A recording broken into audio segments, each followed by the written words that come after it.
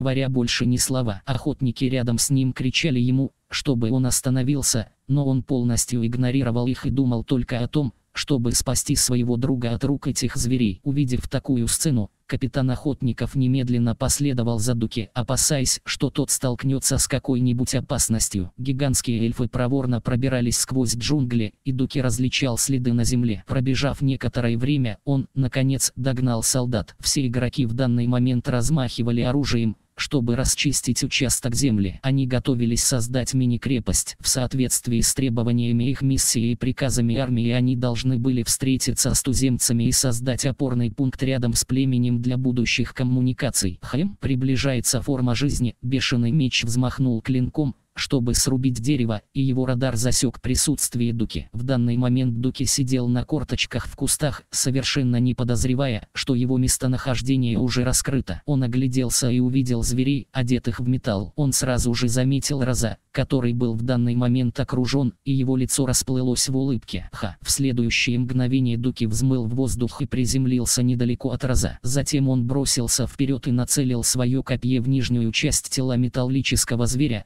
чтобы начать атаку одним ударом. По его деревянное копье мгновенно разломилось на две части. Солдат легонько пнул его ногой, опасаясь, что он может убить туземца и провалить задание. Однако в глазах Дуки этот удар был настолько быстрым, что он не успел среагировать.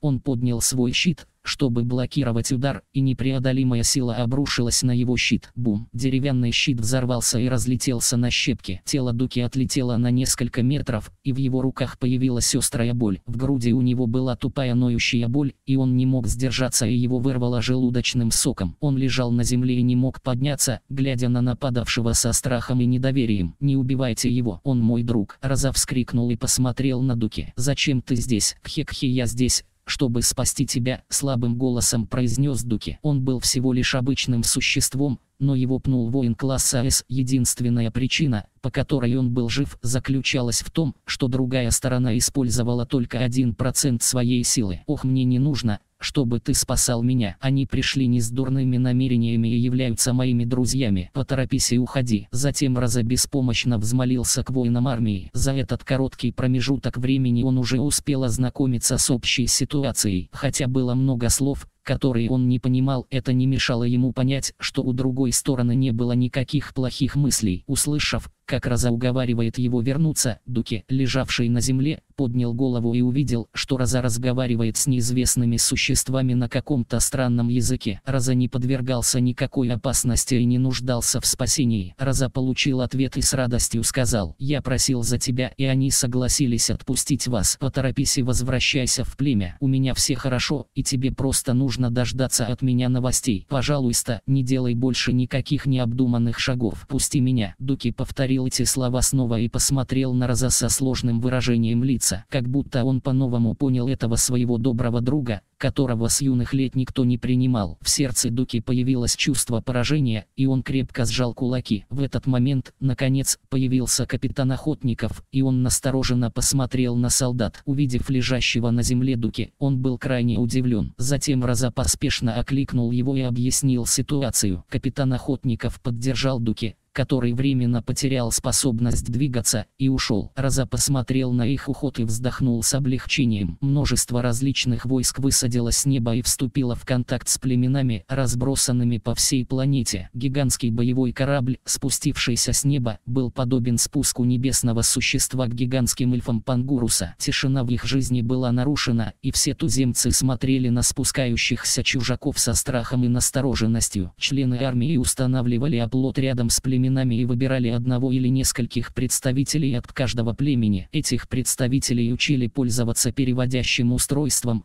чтобы армия могла общаться с ними. В то же время Хан не позволил остальным оставаться без дела и отправил отряд горняков в различные богатые ресурсами места. Они начали строить новую базу и приступили к добыче полезных ископаемых. Большие участки леса были вырваны с корнем и заменены холодным металлом. С большим количеством рабочей силы под его руководством Хан не нужно было принимать меры лично. Ему нужно было только командовать операцией с флагмана, чем он лениво и занимался. Ваши превосходительные превосходительство Блэкстар, вы открыли богатую ресурсами планету, на которой есть редкие материалы. Синика из династии был вне себя от радости, когда узнал эту новость. В этот момент большинство сил все еще исследовали первую звездную зону, и большинство богатых ресурсами планет, которые они обнаружили, содержали только обычные ресурсы. Было крайне мало планет, стоимость которых превышала 6 миллиардов ина. Планета Пангурус была самой ценной планетой, которую они обнаружили в первой звездной зоне на сегодняшний день. Да, я уже обновил информацию о планете в базе данных. На планете живут туземцы, и мои люди поддерживают с ними контакт, сказал Ханся. Синика на мгновение задумался, прежде чем сказать, тогда добыча полезных ископаемых на планете будет передана вам. Я пришлю команду, чтобы помочь вам. Согласно правилам, Хансия мог временно пользоваться правами на добычу полезных ископаемых на планете, которую обнаружила армия Блэкстера. Но если планета будет обнаружена силами династии, союзники династии будут иметь ограниченные права на планету. Таким образом, единственный способ максимизировать их выгоды – это вести на планете добычу,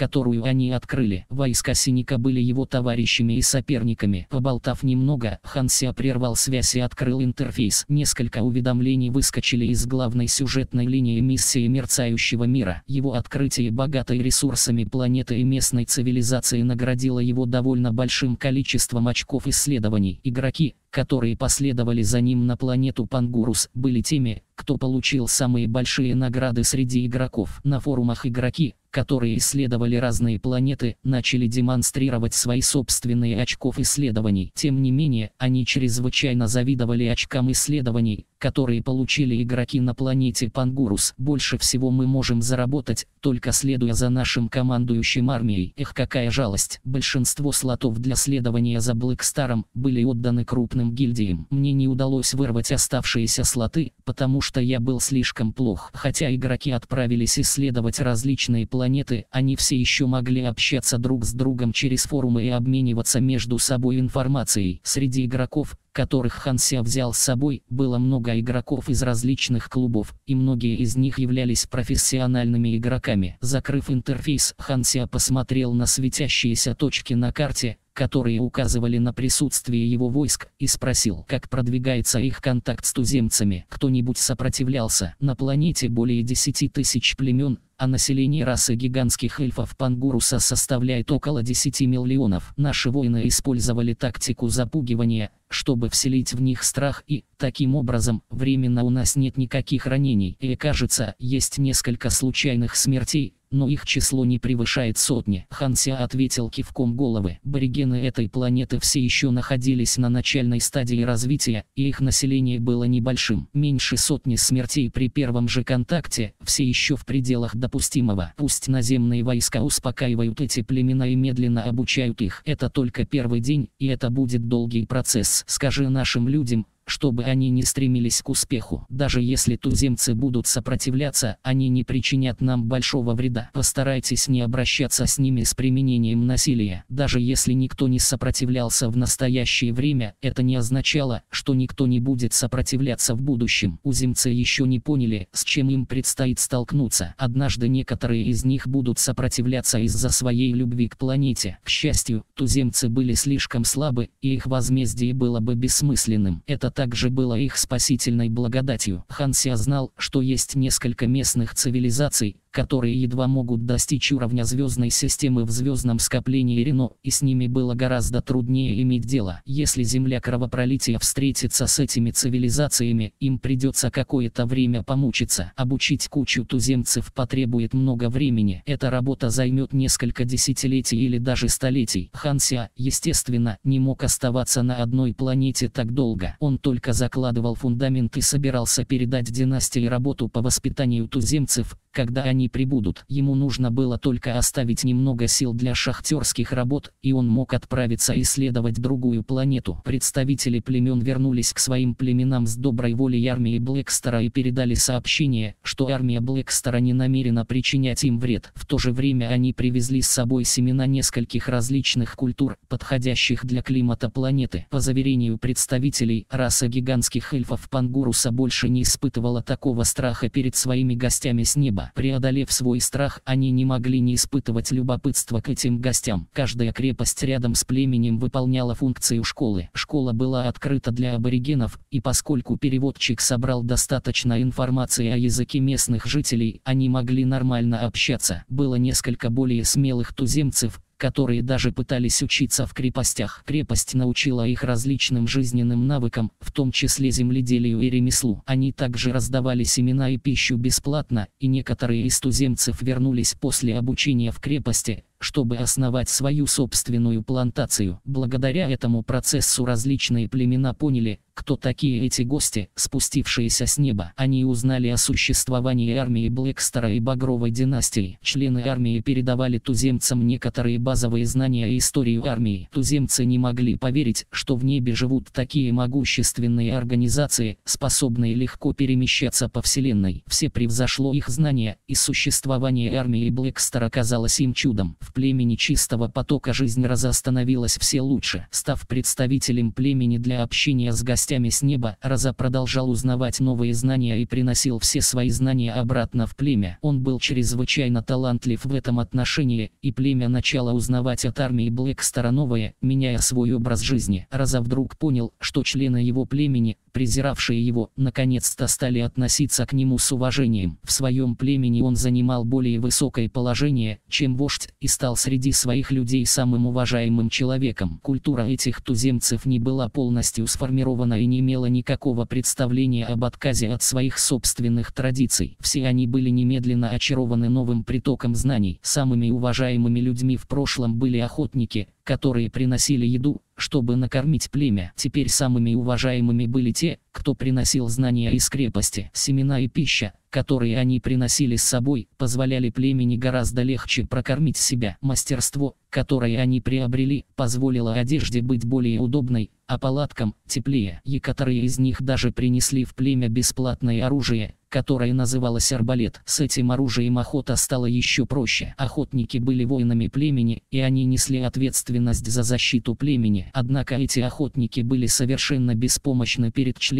армии, и племя постепенно утратило свою опору на охотников. Хотя охотники все еще пользовались некоторым уважением, их постепенно вытесняли на периферию. Дуки посмотрел на Роза, которого окружало племя, и в его сердце возникло сложное чувство. Когда-то это была его честь, и, хотя он относился к Роза как к хорошему другу, в его сердце зародилось чувство превосходства. В то время он считал, что защищает Роза, но теперь их статусы поменялись местами. Роза, который не был популярен в племени, теперь стал уважаемым человеком, а молодой охотник, который был надеждой племени, теперь игнорировался. Дуки чувствовал себя все более и более подавленным. Поговорив с членами своего племени, Роза увидел Дуки и озабоченно спросил, «Как твои раны?» Услышав слова беспокойства Роза, Дуки почему-то почувствовал, что они звучат чрезвычайно пронзительно. «Я в порядке», — холодно ответил он и пошел прочь. Увидев холодный ответ Дуки, Роза был совершенно озадачен. В прошлом Дуки был очень весел и впал в депрессию после того, как его избили ранее. Роза не мог понять, почему Дуки избегает его. Дуки вышел из племени и побежал на максимальной скорости в лес, чтобы дать выход своему разочарованию. Почувствовав, как ветер дует ему в лицо, настроение сразу улучшилось. После долгого бега Дуки захотел отправиться на свою собственную секретную базу. Однажды он случайно наткнулся на чистое озеро в лесу, и ему нравилось время от времени заходить туда, чтобы искупаться. Однако эта сцена ошеломила его по прибытии. Озеро исчезло, и на его месте образовался глубокий кратер. Несколько металлических башен стояли рядом с кратером, и солдаты использовали какой-то странный аппарат, чтобы выкапывать почву. Что вы тут делаете? Дуки пришел в ярость. Он не любил этих гостей с неба и собирался броситься вперед с оружием в руках. Внезапно один из солдат преградил ему путь. Впереди шахта, и она не открыта для посторонних. Пожалуйста, немедленно уйди. Где озеро? Где озеро? Что вы сделали? Дуки сердито взревел и хотел ворваться в шахту. Бах! Мощная сила толкнула Дуки, и он схватился за живот от боли. Мне очень жаль. Пожалуйста, не препятствуйте нашим горным работам. Если у вас есть какие-либо пожелания, вы можете пойти в крепость рядом с вашим племенем. Это место не открыто для посторонних. Какое ты имеешь право меня останавливать? Это место, которое обнаружил я. Дуки сжал кулаки, и его лицо покраснело от гнева. В этот момент он увидел, как гости с неба выкапывают большую груду блестящего хрусталя из первоначального положения озера. Увидев это, он понял, что таково было их истинное намерение. Подняв голову, он оглядел деревья, которые были срублены и заменены металлом. Вспоминая свои переживания за последние несколько дней, он не мог избавиться от чувства опустошенности, но не понимал, откуда оно взялось. Тем не менее, у Дуки постепенно зародилось в сердце другое чувство. Все эти вещи должны были принадлежать им. Впервые он почувствовал, что этот лес, земля и планета – их дом. На флагманском корабле «Аврора» на мгновение заколебалась, прежде чем сказать «Дядя, мы можем так поступать?» Хансия поднял брови и спросил «Что ты хочешь сказать?» Хила, стоявшая рядом, тоже оглянулась. «Мы по сути вторгаемся в дома туземцев», – тихо проговорила Аврора. «Я понимаю, «А чем ты?» Ханся отмахнулся. «Однако мы обучаем туземцев и приносим им знания. Это отличается от простого вторжения в их дома. Но Аврора собралась с духом. Эта планета, их дом, и туземцы не имеют возможности защитить себя. Они могут только наблюдать, как мы вторгаемся в их дома и забираем все их ресурсы. Не слишком ли мы задираемся? Они должны радоваться, что у них нет возможности дать отпор. В противном случае число жертв только возрастет. Но, эх, тебе не нужно продолжать. Хансия прервал Аврору и беспомощно сказал. Ты думаешь, что у них есть выбор? Вообще-то, мы можем избегать планет с туземцами и исследовать другие необитаемые планеты. Хансия покачал головой и посмотрел в окно на Вселенную. Ты слишком идеалистична. Эта планета нет, когда это звездное поле было открыто тремя великими цивилизациями, судьба всех живых существ изменилась. Они больше не имеют права развиваться со свободой. Мы можем избегать планет, где есть аборигены, но когда багровая династия откроет мерцающий мир для внешнего мира, думаешь, что другие волчьи цивилизации отпустят их? Они обречены потерять многое и позволить чужакам разделить их родину. Это уже очень хороший конец. Слабые никогда не смогут достичь совершенства. Аврора замолчала, и сердце ее смутилось. Из-за своей способности Эспера она была чрезвычайно чувствительна к жизни других людей. Она сочувствовала туземцам. Даже если раса гигантских эльфов Пангуруса все еще не понимала, понимала смысла происходящего, она не могла не испытывать неприязни к миру, где сильные охотятся на слабых. У Хилы было спокойное выражение лица. Она отличалась от своей сестры и всегда считала, что слабость – это преступление. Хансия немного помолчал, прежде чем продолжить. Тебе не нужно слишком много думать об этом. Выкапывание их ресурсов – это не шикарное действие,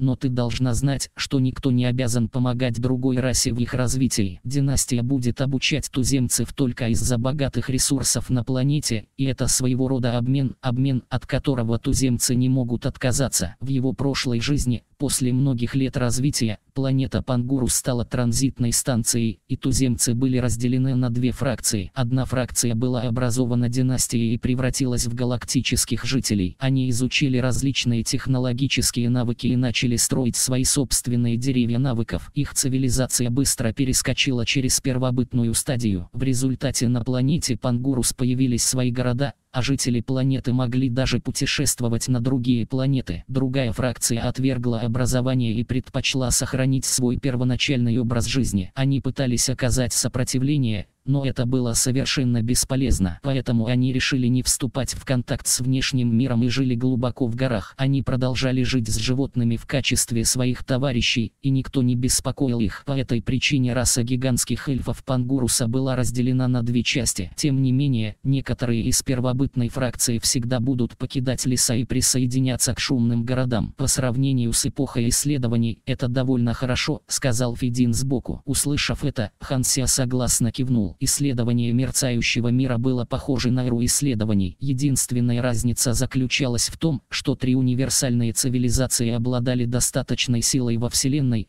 чтобы подавить любого, кто был недоволен. Таким образом, они были уверены, что используют более теплые средства. В эпоху исследований первой мыслью после открытия другой цивилизации было бы уничтожить другую сторону. Война вспыхивала повсюду. Это было темное время. Глава 825. Неожиданная скрытая миссия перед лицом абсолютной силы, независимо от того, что чувствовала или хотела сделать раса гигантских эльфов Пангуруса, они не смогут остановить флот от добычи ресурсов. И в Эффективность галактического горного оборудования была чрезвычайно высока, и ресурсы быстро извлекались со всей планеты, заполняя склады партиями сырья. В процессе добычи некоторые из разведывательных отрядов обнаружили еще больше ресурсов, скрытых под землей, что еще больше повысило ценность планеты. Хансия был чрезвычайно доволен, когда посмотрел на отчет в своих руках. Хотя выгоды от добычи различных богатых ресурсами планет в расколотом звездном кольце были немалы, те планеты находились на чужих территориях, и там не было достаточно свободы. Однако он мог делать все, что ему заблагорассудится на богатой ресурсами планете, которую он обнаружил в мерцающем мире. До тех пор,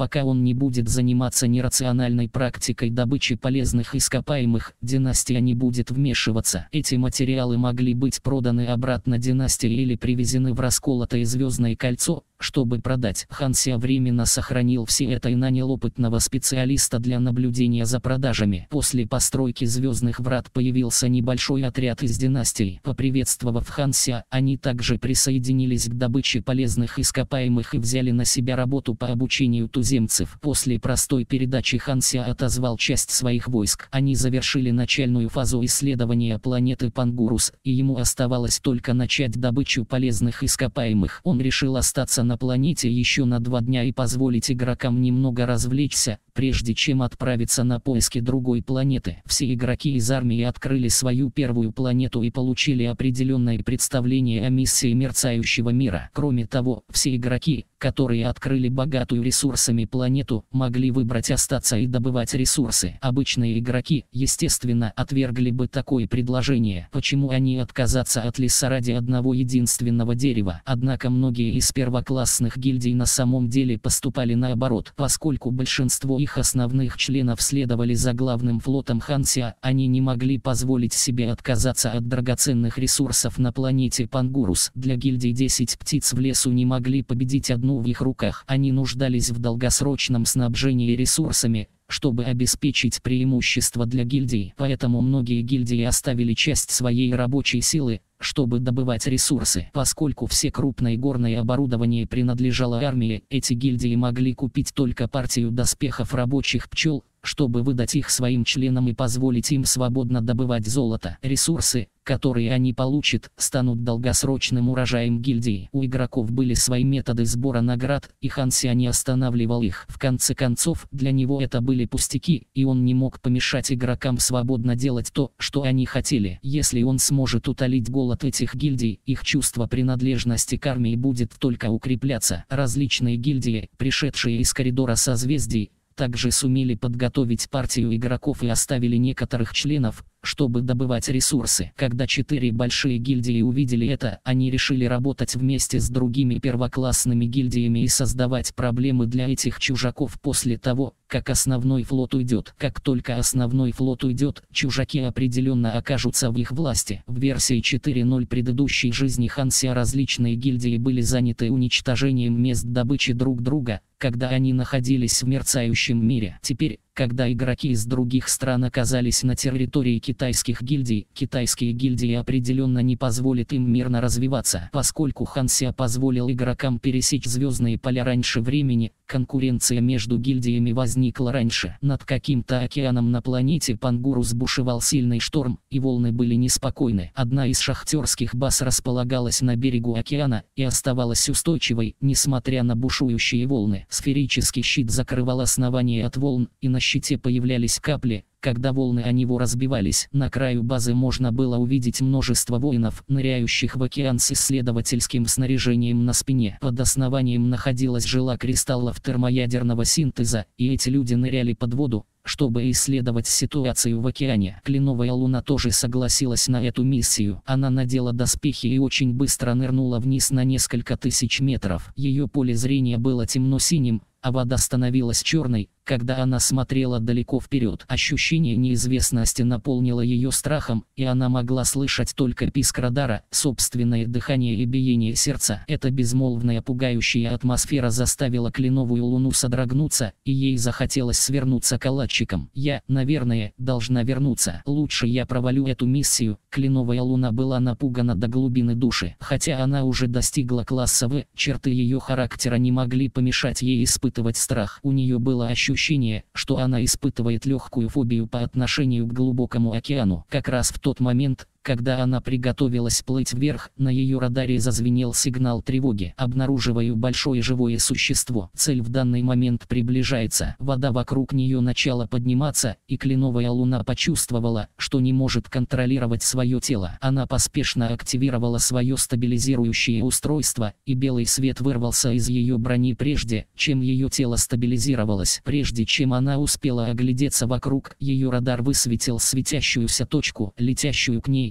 как ракета. Кленовая луна в смятении обернулась, и в поле ее зрения внезапно появился гигантский зверь. У него было бесчисленное множество когтей, а голова казалась комбинацией змеи и дракона. Пасть зверя была широко открыта и быстро к ней приближалась. Затем ее зрение потемнело, и она была проглочена чудовищем. Завершив охоту, зверь замедлился и приготовился наслаждаться едой. Однако его тело внезапно начало корчиться, как будто ему было очень больно. В следующее мгновение из тела зверя вырвался яркий голубой свет, и зверь разлетелся на куски. Бум! Свежая, пурпурная кровь и куски мяса взорвались в океане, и броня кленовой луны оказалась покрыта липкой жидкостью. Это была смесь крови зверя и пищеварительных соков. Увидев эту кровавую сцену, кленовая луна поспешно выключила содержание для взрослых, и сцена стала менее кровавой. До этого она была потрясена внезапным появлением зверя и забыла дать отпор. Она смогла прийти в себя только после того, как была проглочена зверем и использовала свою силу класса В,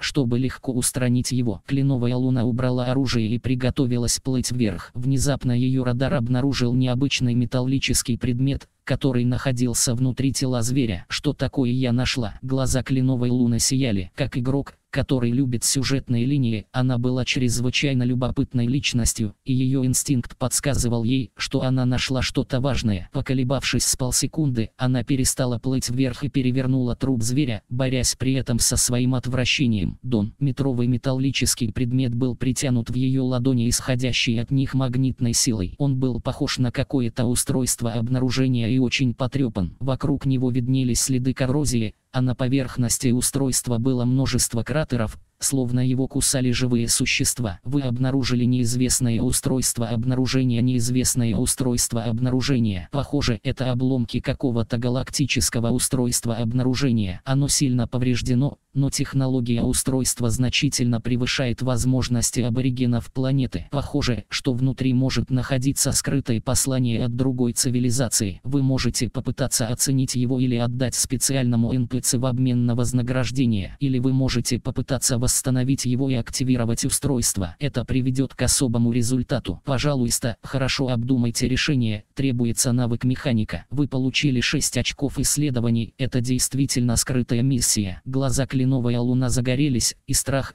который она испытала, был отброшен на задний план. Затем она с любопытством поиграла с неизвестным устройством обнаружения. Больше всего ей нравилось выкапывать такие неизвестные сюжетные линии. Без малейшего колебания она немедленно отнесла предмет обратно на базу. Не снимая доспехов, она торопливо осмотрела устройство обнаружения. Ее способности механика достигли необходимых требований, и результат ее оценки появился на интерфейсе. Оценка завершена. Вы получили сломанный координат координатный маркер. Этот элемент используется для обозначения координаты в пространстве. Текущее состояние, серьезное повреждение, неисправность системы, все функции отключены. Это какая-то техника высокого уровня. Кленовая луна удивилась. Этот предмет уже достиг уровня звездной системы. Может ли это означать, что планета Пангур была открыта какой-то цивилизацией раньше? Существовала также вероятность того, что этот маркер был уничтожен во Вселенной и в конечном итоге попал на планету Пангурус из-за гравитации. Затем он приземлился в океан и был проглочен океанскими животными. Если бы не это,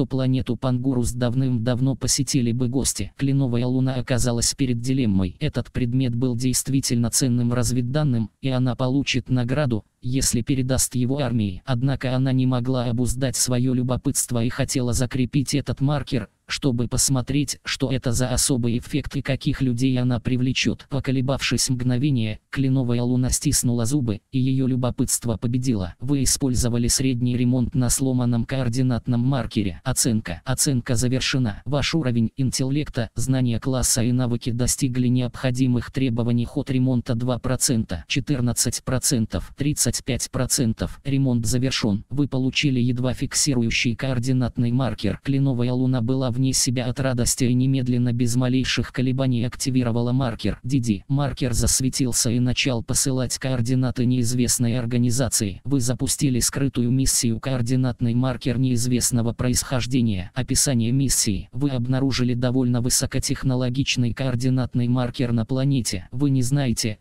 кто оставил этот маркер, но решили активировать его. После того, как координаты будут переданы, он может привлечь неизвестную организацию. Требования миссии. Вступите в контакт с неизвестной организацией. Награда 3000000 опыта, 70 очков исследований. Фрагмент навыка X1 смелый исследователь. Требуется объединить два фрагмента. Примечание. Пока вы смелы, Вселенная – ваш дом. Эта миссия связана с главной сюжетной миссией мерцающего мира. Вы можете сообщить о ситуации своей фракции и получить помощь от НПЦ фракции. Настоятельно рекомендуется. Описание навыка «Смелый исследователь». Особый навык. Исследуя неизвестное место и оценивая неизвестный объект, вы можете использовать этот навык для получения некоторой информации. Его можно использовать повторно на одной и той же цели. Время восстановления – 7 дней. Каждый раз, когда навык используется, вы будете впадать в состояние опрометчивости, 60% удачи в течение 14 дней. Награда – это фрагмент навыка, такая награда встречается довольно редко. Я также могу обратиться за помощью к фракции. Означает ли это, что результат активации маркера чрезвычайно серьезен? Кленовая луна была потрясена, когда она подумала о том, чтобы отдать маркер, в ее голове всплыла фигура командующего армией. Ты обнаружила на этой планете координатный маркер развитой цивилизации. Глядя на координатный маркер в руках кленовой луны, Ханся не мог не удивиться. Он думал, что кленовая луна здесь, чтобы учиться у него навыкам, и не ожидал, что она принесет ему спрятанный инструмент. Только династия исследовала этот регион, и этот маркер мог принадлежать лишь одной из неизвестных местных цивилизаций в мерцающем мире. Согласно технологическим навыкам внутри маркера, Происхождением маркера должна быть цивилизация уровня звездной системы. Кроме того, этот маркер использовал обычную технологию подруливающего устройства для перемещения. Даже если бы он путешествовал в течение нескольких сотен лет, его скорость все равно была бы ограничена. Это означало, что цивилизация, пославшая этот маркер, должна находиться в пределах звездной системы. Однако Ханси не мог припомнить ни одной цивилизации звездной системы вокруг южного региона звездного скопления горов в своей предыдущей жизни. Разведывательные данные Багровой династии не указывали на существование какой-либо цивилизации звездной системы в этом регионе. Он также не слышал о подобном инциденте от НПЦ в своей прошлой жизни. Может быть, цивилизация, пославшая этот маркер, уже была уничтожена, и остались только ее останки? Это тоже было возможно. Однако скрытая миссия появилась и на интерфейсе Хансия, когда он получил маркер, и требование миссии предполагало, что неизвестная цивилизация все еще была поблизости. В его предыдущей жизни начальная исследовательская фаза мерцающего мира была в период обновления версии, и игрокам удалось собрать воедино информацию о начальной исследовательской фазе, найдя различные записи истории. Может быть, эта скрытая сюжетная линия не была найдена династией в его предыдущей жизни? Кленовая луна не знала, что Хансия также может принять миссию, и думала о том, как она должна объяснить Ханся, что этот маркер все еще полезен. «Позволь мне немного изучить эту штуку», — сказал Ханся в этот момент. «Может быть, мне удастся что-нибудь найти». Услышав это, Кленовая Луна подумала, что она передает объект миссии, и не стала возражать. Увидев, что Кленовая Луна уходит, Ханся начал изучать маркер в своих руках с горящими глазами. «Я никогда не ожидал сделать такое открытие на планете Пангурус. Способность игроков находить скрытые миссии действительно действительно надежно, Ханся мысленно усмехнулся. Награда за скрытую миссию действительно искушала его. Смелый исследователь был навыком оценки и мог оценивать предметы даже неизвестного ранга. В его прошлой жизни было очень мало игроков, которые обладали таким навыком. Хотя это не было полезно для сражений, это было очень полезно, чтобы выкопать скрытые сюжетные линии. Но он не знал, как получить дополнительные фрагменты навыков. Хотя навык был крайне ограничен, он все еще был ему полезен. Не говоря уже ни о чем другом, он все еще не продвинулся в изучении странных данных, оставленных изгодом. Эзоп тоже не мог ничего предсказать. Если он сумеет овладеть этим навыком,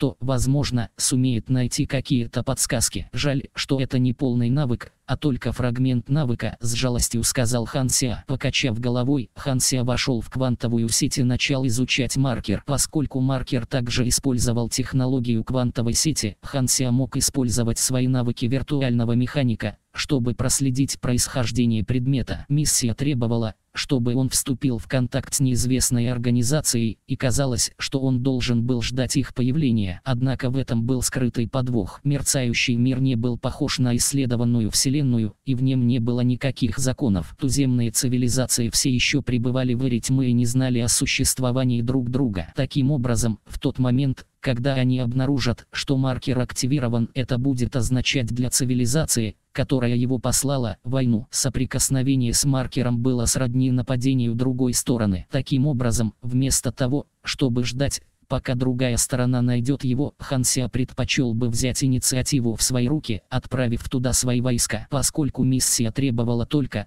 чтобы он вступил в контакт с другой стороной, не имело значения, кто возьмет на себя инициативу. После того, как Ханся некоторое время прослеживал корни маркера через квантовую сеть, он резко открыл глаза. Затем он открыл звездную карту и указал на место в паре звездных зон от планеты Пангурус. «Я нашел тебя». Глаза Ханся сузились. Он вспомнил, что в его прошлой жизни здесь не было никакой местной цивилизации. Подумав немного, Ханся щелкнул пальцами, и перед ним появился псионический прайм. «Мастер, у меня есть для тебя задание», медленно произнес Хансиа. Приведи несколько механических жизней и механическую армию, чтобы найти тех, кто послал этот координатный маркер. Подави их, если они на вас нападут. Да, мастер псионического прайм кивнул и немедленно покинул комнату, чтобы организовать свои войска, поскольку это было в нескольких звездных зонах от него и было бы для него пустой тратой времени, Ханся не планировал совершать поездку лично. Его механические жизни могли теперь держаться сами по себе, и он мог передавать свою механическую силу механическим солдатам, не находящимся рядом с ним, через квантовый канал передачи на бесконечное расстояние. Таким образом,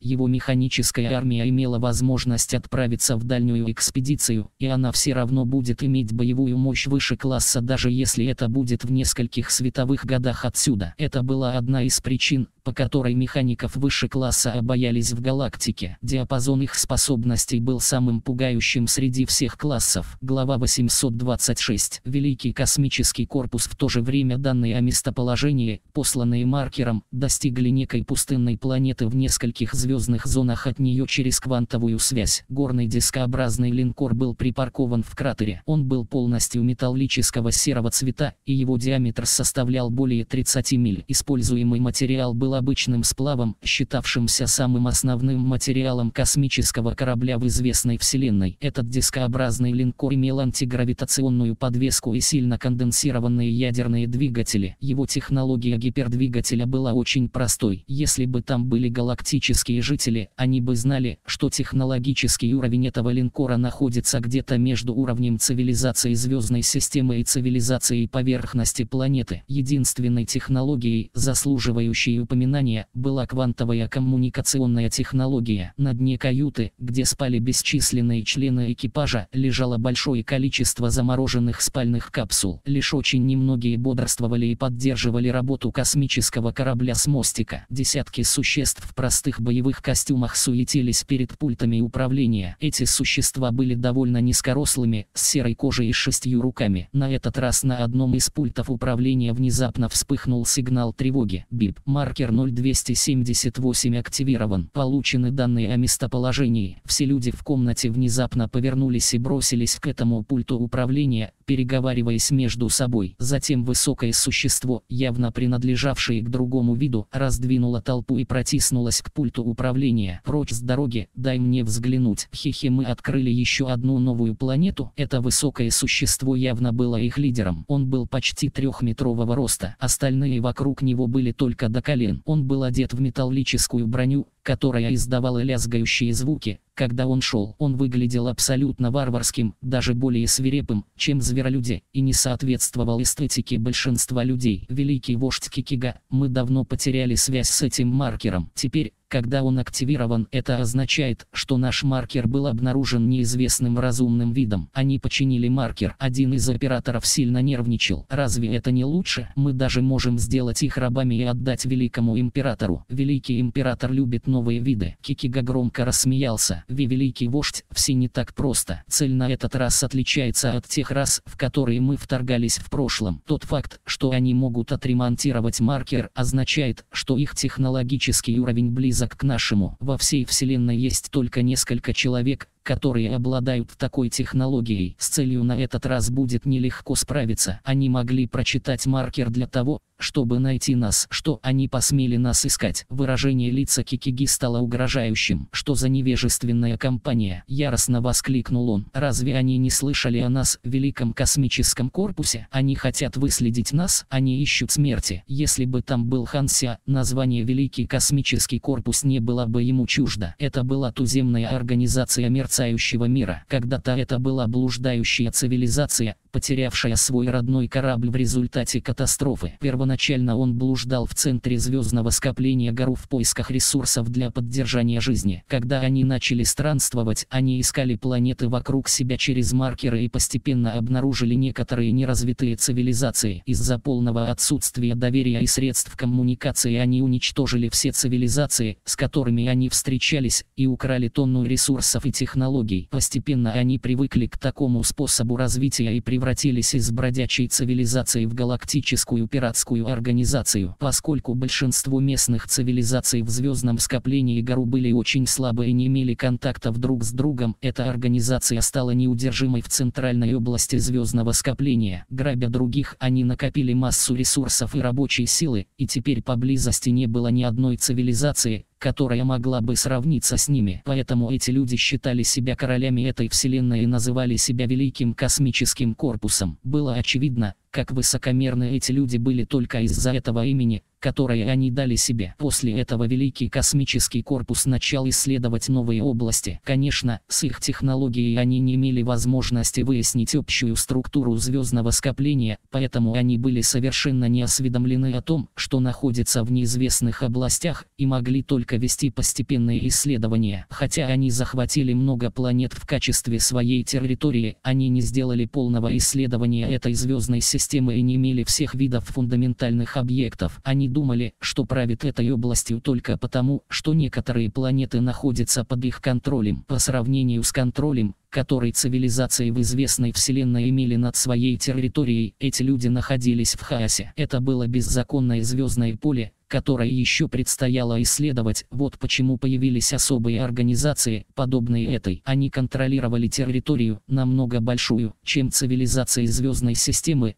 но они были слабее, чем самые слабые цивилизации звездной системы. Из-за отсутствия соперников они чувствовали себя очень хорошо. То, что они сильны было только в сравнении с туземцами вокруг. В предыдущей жизни династия оставила некоторую информацию об этой организации на протяжении всего исследования звездного скопления Гару, и Хансия хорошо посмеялся, прочитав ее. Однако статус скрытой миссии был весьма обманчив, когда Хансия обнаружил маркер, это заставило Хансия сформировать предвзятое мнение, что это была какая-то таинственная цивилизация. Кроме того, в записях династии в предыдущей жизни не упоминалось о великом космическом корпусе, появившемся в южной пограничной звездной системе звездного скопления Гару. Династия имела лишь очень краткие сведения о великом космическом корпусе, так как эта местная организация была слишком слаба и совершала самую распространенную и частую ошибку, которую допускали местные жители, высокомерие. Во всем этом не было ничего такого, что стоило бы отметить в глазах династии. В своей предыдущей жизни династия проводила свои исследования во время обновления версии, и игроки этого не переживали. К тому времени, Когда они официально вошли в мерцающий мир, Великий космический корпус уже давно исчез, и Ханся узнал о них только из очень краткого отчета династии. Это не казалось важным, поэтому Ханся не имел глубокого впечатления о них, поэтому он не думал об этом в настоящее время и не знал, что именно эта организация была целью миссии. Тем не менее, даже если бы он знал, это ничего бы не изменило. Я, я думаю, все же лучше доложить об этом великому императору, сказал оператор, дрожа всем телом. Возможно, Возможно, мы не сможем победить с помощью здешних сил. Что ты сказал? Кикига в ярости ударил кулаком по столу. Он был вспыльчив и склонен к гневу. Не сердись, великий вождь. Великий император назначил вас ответственным за эту область. Если мы примем самостоятельное решение в чем-то столь значительном, великий император не будет доволен этим. Понимая, что великий император может быть разгневан этим, Кикига вздрогнул, и его гнев исчез. Тогда давайте доложим об этом великому императору. Остальные поспешно связались связались с великим императором и затаили дыхание. Очень скоро на экране появилась проекция человека. Человек на экране был гуманоидом в темно-фиолетовых доспехах и ярко-красном плаще от плеч, из-под которого виднелась только голова. У него были растрепанные длинные черные волосы и бледная кожа, а металлическая маска на нижней половине лица скрывала его внешность. Его глаза были полны холода. Из-за спины торчали толстые, мускулистые и огромные щупальца, тоже покрытые какой-то броней, словно многочисленные механические хвосты, окружающие этого человека. Он сидел на металлическом троне военного корабля. Позади него была металлическая стена с эмблемой Великого космического корпуса и черепами множества различных животных. Этим человеком был лидер Великого космического корпуса Тима,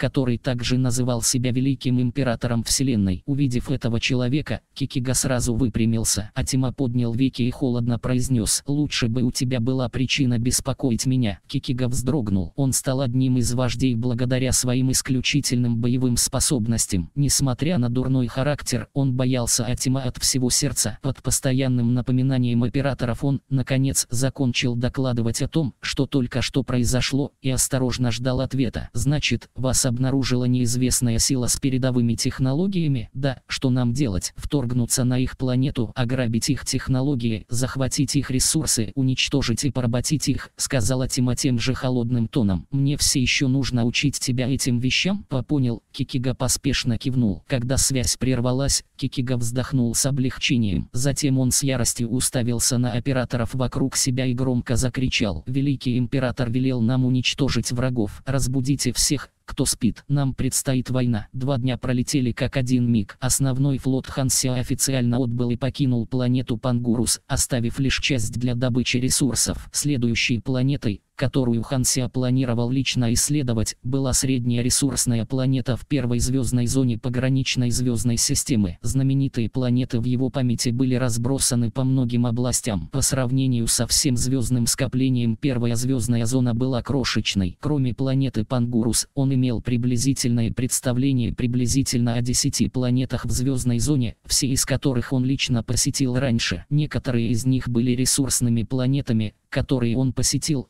чтобы украсть ресурсы у других гильдий, в то время как другие были функциональными планетами, такими как станции звездных врат и станции снабжения. Разведывательная группа армии Блэкстера и миллионы космических кораблей разведывательной группы Синика разделились. Согласно текущему прогрессу, потребуется от 17 до 18 дней, чтобы закончить исследование всех планет в первой звездной зоне. Это означало, что для завершения исследования этой звездной системы потребуется около полугода, и большая часть этого времени будет потрачена на путешествия. В конце концов, не на каждой планете есть аборигены, а исследовать простые планеты было легко. Что касается специальной оперативной группы, Поскольку они будут путешествовать без остановок на высокоскоростных космических кораблях, они смогут построить дальний маршрут звездных врат всего за 4 месяца. Хансия прикинул, что за это время он должен быть в состоянии посетить все планеты, которые он помнил в этой звездной системе. С другой стороны, несколько линкоров отклонились от других, неся механические войска, посланные Ханся, и направились к месту расположения Кикиги и других. Внутри космического корабля ряды механических солдат были наготове под контролем Спарты. Они были совершенно неподвижны. Однако внутри каюты была группа,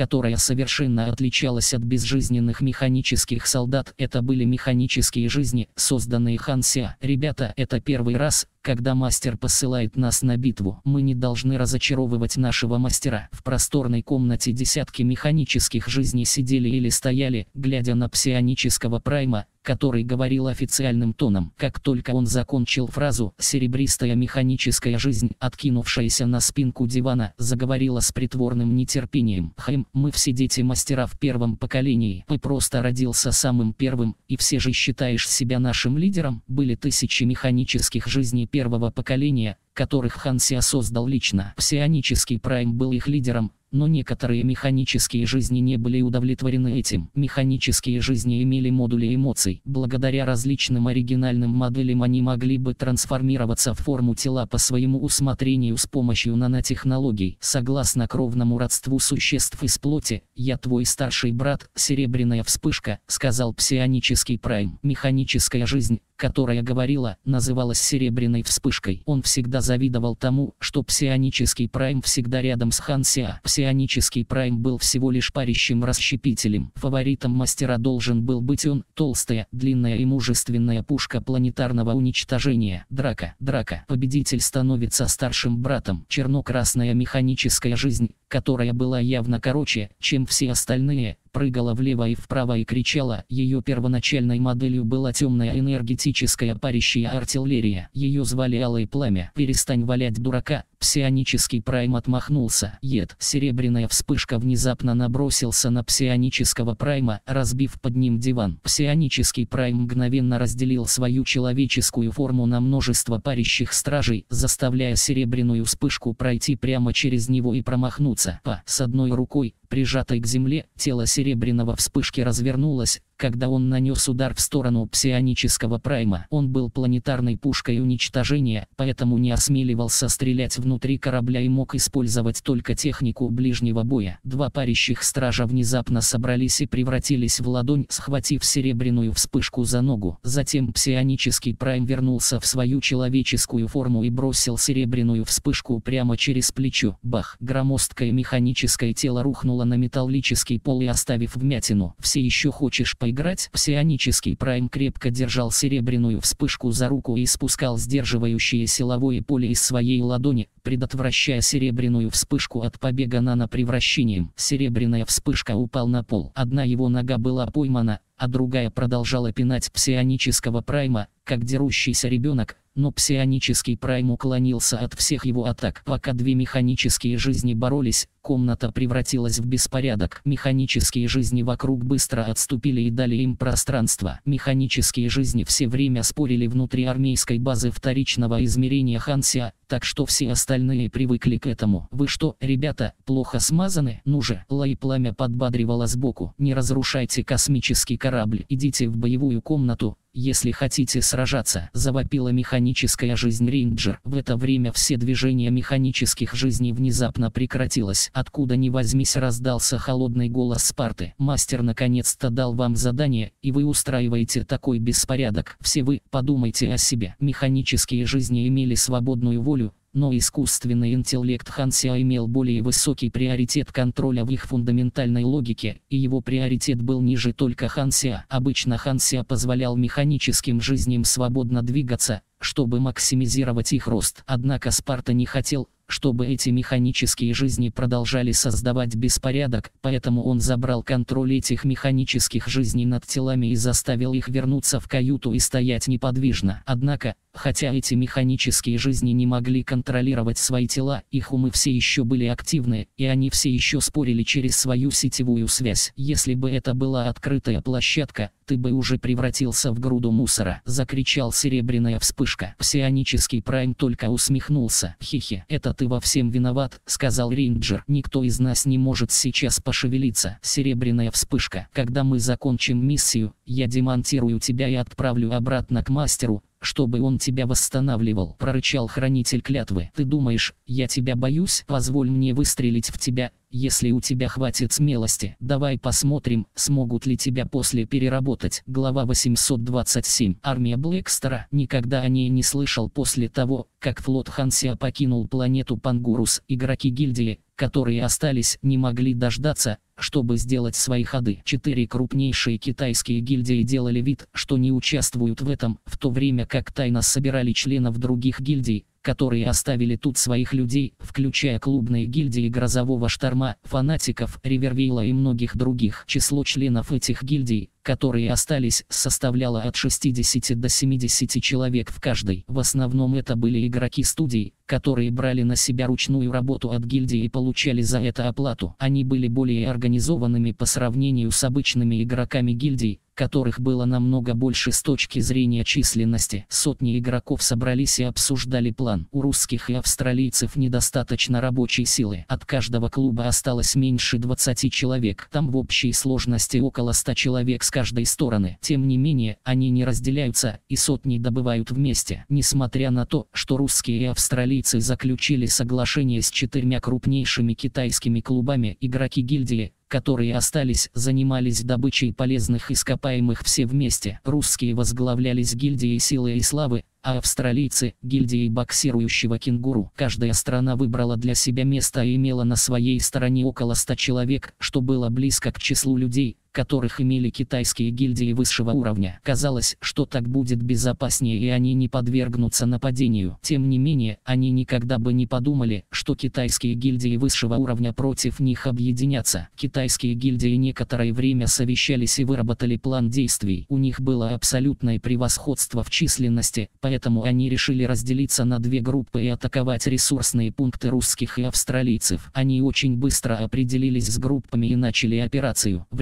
ресурсном пункте гильдии боксирующего кенгуру десятки австралийских игроков усердно работали в шахтах, надевая броню рабочей пчелы, помещая ресурсы в свою броню и транспортируя их обратно на мини-склад гильдии на планете раз за разом. Было много складов, принадлежавших различным австралийским гильдиям, и повсюду патрулировали игроки студий. Хотя они двигались группой в целях безопасности, это не означало, что они делились ресурсами. Эти склады были куплены различными гильдиями у армии на собственные средства, и они были довольно дорогими. Они были эквивалентны их оплоту в ресурсном пункте. В это время группы хорошо экипированных игроков гильдии первого уровня появились в поле зрения патрулирующих игроков и атаковали их издалека. Немедленно собирайтесь, наш ресурсный пункт атакован. Австралийские клубные гильдии поспешно вызвали тех, кто добывал ресурсы, но было уже слишком поздно. Почти 300 игроков гильдии первого уровня бросились прямо на этот ресурсный пункт. Австралийские игроки, которые бросились назад из шахт, моментально столкнулись с этими игроками. Схватка вспыхнула в мгновение ока. Бум-бум-бум. Бойцы взрывали задние линии энергетическим пламенем, эсперы выбрасывали всевозможную красочную энергию различных способностей, маги постоянно направляли заклинания, а псионики безостановочно использовали психические атаки АЯ. Механики произвели наибольшее впечатление. Версия 3.0 была версией, где механика сияла очень ярко. Это было связано с тем, что игроки-механики, наконец, могли изучить способность, которая полностью раскрывала их технику боя в этой версии,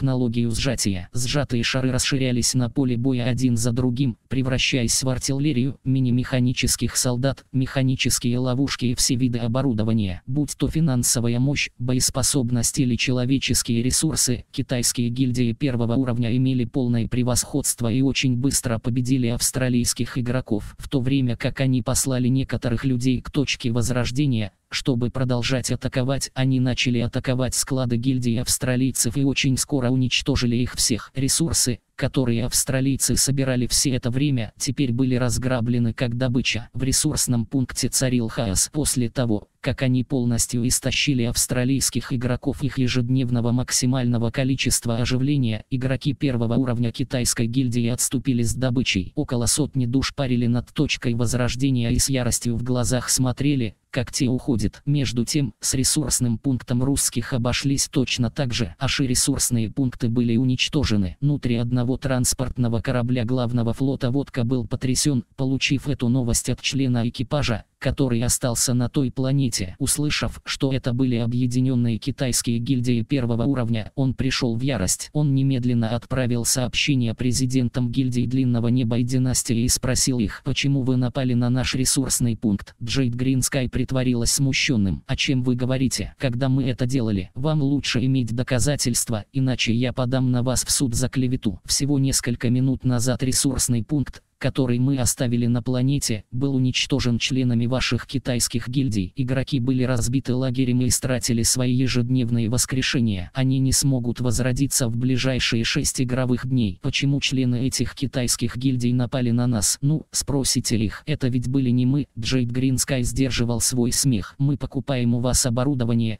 а взамен вы обещали обеспечить нам защиту, яростно сказал Водка. Вы нарушили наши соглашения. Джейд Гринскай точно знал, какие трюки вытворяли эти иностранные гильдии. На поверхности эти гильдии покупали оборудование у них, но тайно работали вместе с другими китайскими игроками, чтобы скрытно пользоваться полной 10% скидкой. Утренний снег сумеречный мороз слабо улыбнулся. Мы не знали об этом заранее. В конце концов, у этих гильдий первого уровня тоже есть свои мысли. Они не работают под нашим началом. Мы спросим их об этом. Не волнуйтесь, я постараюсь убедить их. Это было бы к лучшему. Водка кивнул. Когда Водка закончил разговор, он был крайне недоволен. Эти гильдии первого уровня, работающие против них вместе, были связаны с четырьмя крупнейшими китайскими английскими клубами, как на это не посмотри, это может повториться в будущем. Он связался с капитаном людей, которые остались позади, и сказал, после того, как вы придете в себя, я пошлю вам деньги, чтобы вы купили некоторые устройства сигнализации в армии, такие как автоматические артиллерийские установки, ловушки и лазерные установки. Разверните их вокруг нового ресурсного пункта, купите как можно больше, не бойтесь тратить. Кстати, откажитесь от своего текущего местоположения и ищите более жесткое местоположение для добычи ресурсов. С другой стороны, утренний снег, сумеречный мороз и Джейд Гринскай тоже обсуждали этот вопрос. Эта атака заставит их быть осторожными и заставит их тратить больше денег на ненужные меры обороны. Гильдии первого уровня никогда не планировали часто на них нападать, поэтому мы можем просто сказать, что это потому, что мы убедили их и сдержали наши обещания. Когда эти люди построят новый ресурсный пункт и восстановятся, мы снова организуем атаку. К тому времени на их складах будет храниться новая партия ресурсов, и все это будет разграблено. Пока это будет продолжаться, прибыль, которую они получают со своих ресурсных пунктов, будет крайне ограничена. Все, что нам нужно сделать, это заставить их превратить это в большую войну гильдий, чтобы мы могли полностью уничтожить основных членов их гильдий с нашим численным преимуществом. Хитрый, как всегда, Джейд Гринскай показал ему большой палец. Утренний снег сумерки мороз покачал головой. К сожалению, они не прислали сюда своих профессиональных игроков, иначе мы смогли бы помочь клубу устранить некоторых соперников. Профессиональные игроки были столпами клубов, поэтому клубы очень серьезно относились к безопасности профессиональных игроков. Конечно, они не посмели отправить персонажа своих профессиональных игроков на чужую территорию. Одной из причин, по которой китайские клубы были нацелены на иностранные гильдии, была также защита своих собственных профессиональных игроков,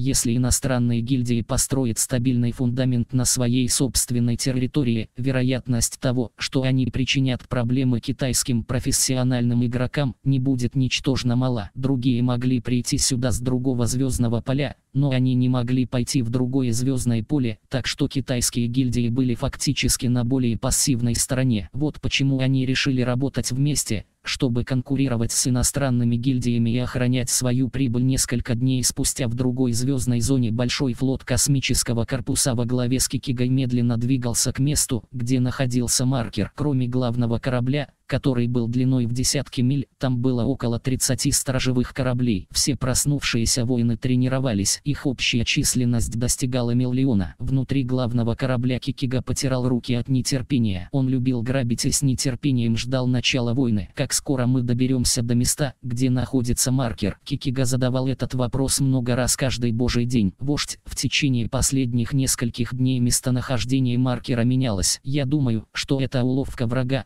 чтобы сбить нас с толку, поэтому мы сейчас направляемся к месту, где маркер был активирован впервые. Это не очень далеко, сказал руководитель группы операторов со смирением. Ему приходилось повторять это много раз в день. Чем быстрее, тем лучше. Жду не дождусь, диким голосом произнес Кикига. На этот раз один из операторов крикнул. Вождь, к нам приближаются три неизвестные цели. Это ведь не метеориты? Кикига был потрясен. По его мнению, очень немногие могли путешествовать во Вселенной подобно им, поэтому его первой мыслью было предположить, что это метеориты. Что-то не похоже. Они летят прямо на нас. Вождь, я прошу ввести состояние боевой готовности. Слишком остро реагируешь, пробормотал Кикига и махнул рукой. Тогда будь начеку. Флот очень быстро активировал свое разнообразное оружие и сосредоточенно ждал. Вскоре после этого три космических корабля с псионическим праймом и остальными медленно остановились перед Кикига и их флотом. Настоящие космические корабли? Кикига был потрясен. Как я и подозревал, они действительно могут отслеживать наш маркер и обладают очень передовой технологией. Они тоже могут путешествовать по Вселенной. Кикига некоторое время оценивающе рассматривал три космических корабля, а потом вдруг рассмеялась. «Чего ты боишься? Посмотри на эти три космических корабля. Насколько сильными они могут быть, когда они такие маленькие. Действительно, космические корабли, на которых находились псионический прайм и другие, выглядели крошечными по сравнению с главным кораблем флота Кикиги. Для Кикиги размеры космических кораблей были прямо пропорциональны их мощности. Кроме того, у них всего три космических корабля. У нас их более чем в 10 раз больше. Мы сможем с легкостью их победить. Чего вы, ребята, паникуете? Стыдоба, Кикига покачал головой. Остальные решили, что в словах Кикиги есть смысл, и почувствовали облегчение. Вождь, что нам теперь делать? Судя по космическому кораблю, ясно, что они из маленькой цивилизации, которая только начала путешествовать по Вселенной и не знает, что такое страх, ответил Кикига. Вот почему они осмелились отследить наш сигнал. Хм,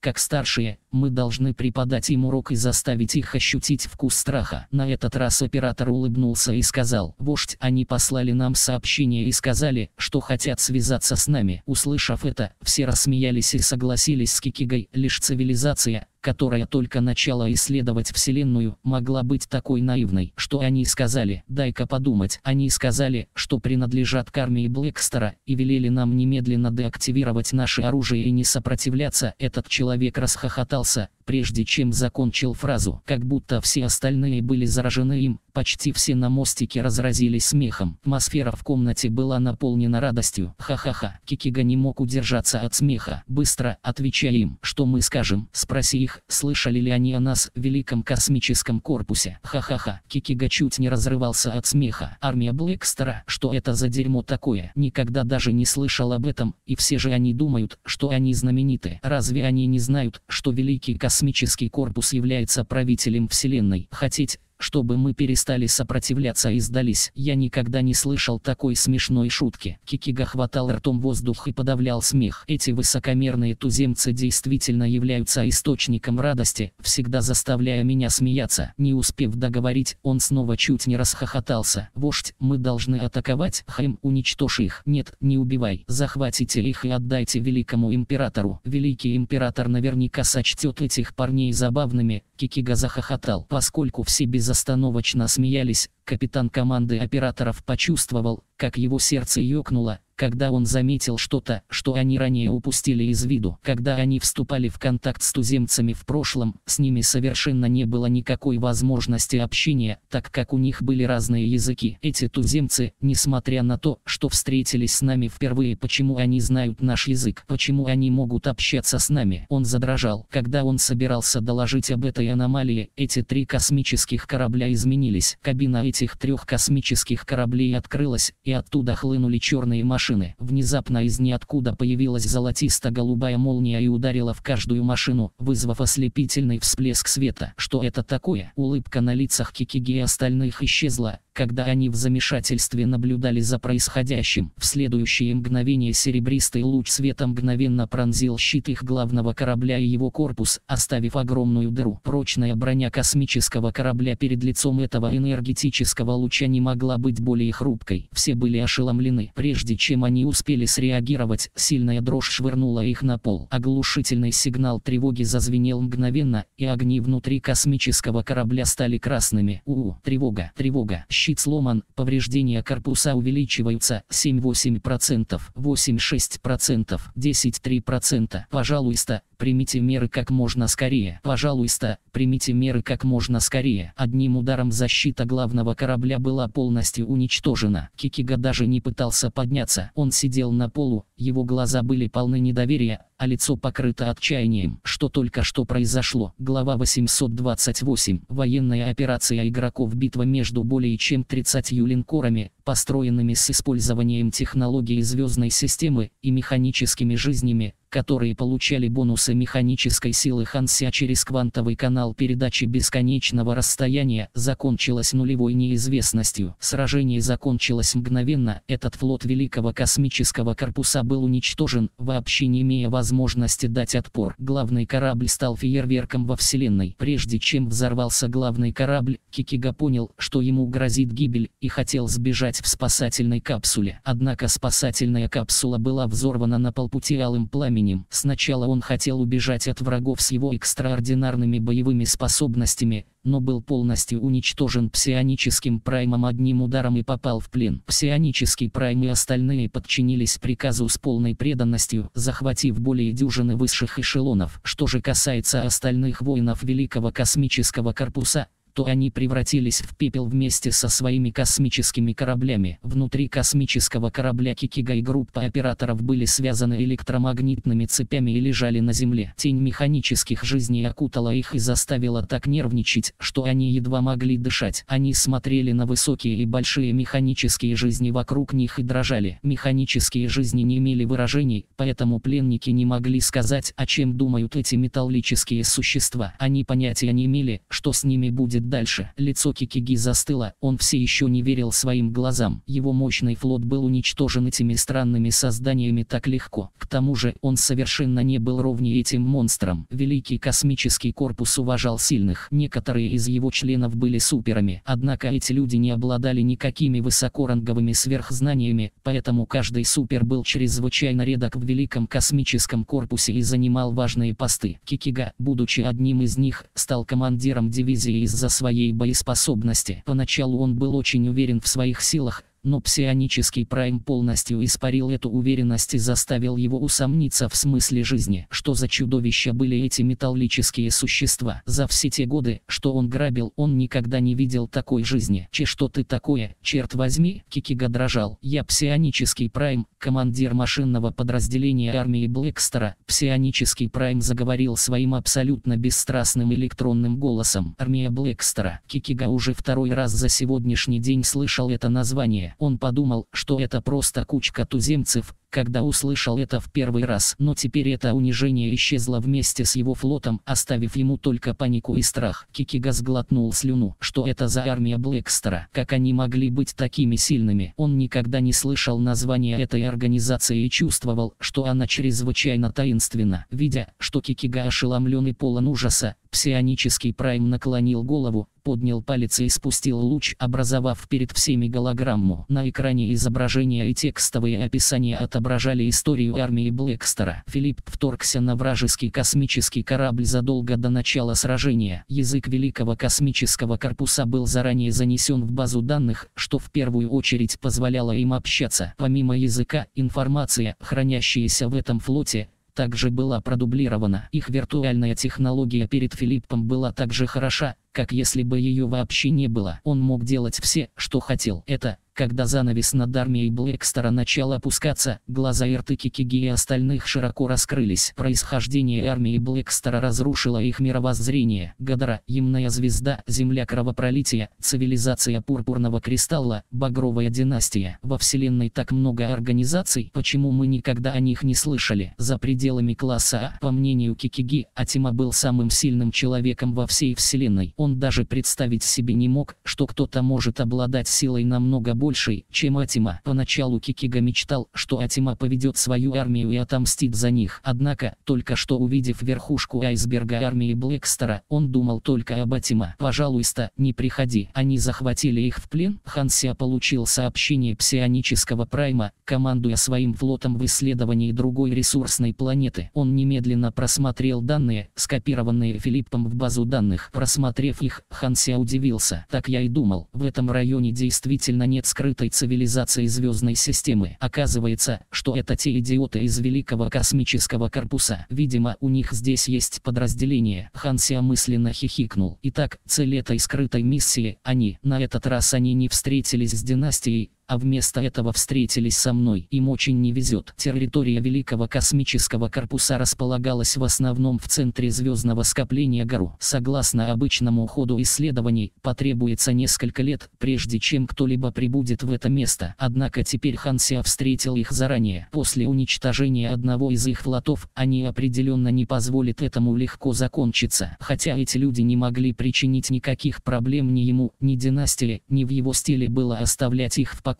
Хансия ходил взад и вперед, задумавшись, заложив руки за спину. Внезапно его глаза сверкнули. Да, эти люди ограбили много планет. У них определенно есть данные об этих планетах. Даже если они уничтожили некоторые из этих планет, все равно останутся руины, которые дают очки исследований. Эта информация очень ценна для династии и может считаться достижением. Если бы он получил эту информацию, общее количество очков исследования его основной сюжетной миссии довольно существенно выросло бы. Скорее всего, на целый ранг. Кроме того, это будет считаться большим достижением, и династия вознаградит его за это, сделав его успехи в исследовании более успешными, чем у Земли кровопролития. Это очень хорошая возможность, хотя Великий космический корпус был слаб, разведданные, которыми они располагали, были полезны. Он включил коммуникатор и связался через Синика с главным командиром Тараковым. Блэкстар, в чем дело? Тараков был немного шокирован. Обычные вопросы можно было обсудить с Синика, но Хансия пошел прямо к нему. Может быть, он попал в какую-то особую ситуацию? Главный командир, я сделал открытие, медленно произнес Хансия. Несколько дней назад воины моей армии обнаружили поврежденный маркер на планете Пангурус. Он вкратце объяснил ситуацию и затем подчеркнул. Согласно полученным данным, эта организация грабит других людей и ведет активную деятельность в центральной зоне звездного скопления Гару. Похоже, у них довольно большая территория. Насколько я понимаю,